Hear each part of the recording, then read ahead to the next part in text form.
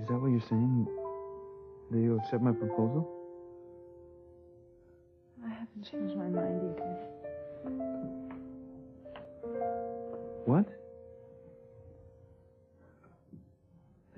I know I'm going to regret this.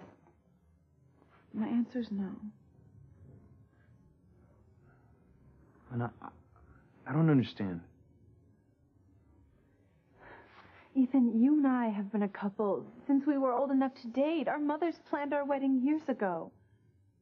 I've never been with another man. It never occurred to me that you might be with another woman. If you're talking about Theresa again. I am.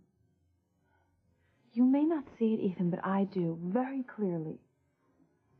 And until you can make me believe that no one's going to come between us, no matter how innocent she may seem, I have to say no. I will not marry you.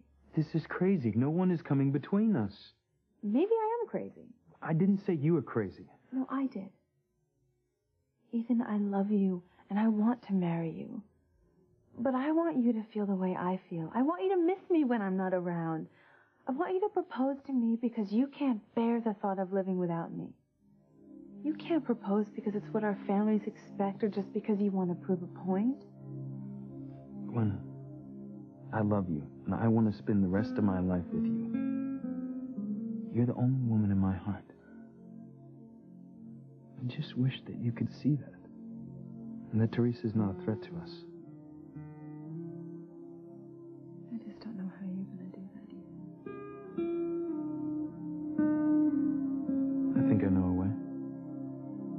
Just listen to me. And there's a tree lighting ceremony tomorrow night. Theresa's going to be there with the guy she has a crush on. If you go with me to the ceremony, you'll see Theresa and her boyfriend. All right, I'll go. Great. I promise you, after tomorrow night, this whole stupid thing will be done with. One way or the other.